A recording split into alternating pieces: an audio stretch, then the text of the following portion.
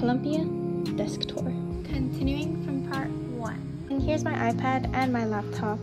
I usually have my laptop on this one, but right now I need to do some reading. So in this desk, I have my digital marking book, my wallet, diary, um, pencil case, and some snacks. Moving to the next one.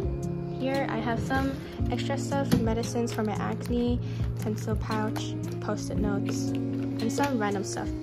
For my second drawer, it's pretty boring, just some folder, binder. Lastly, I have this third drawer with all my masks, contact lenses, pills.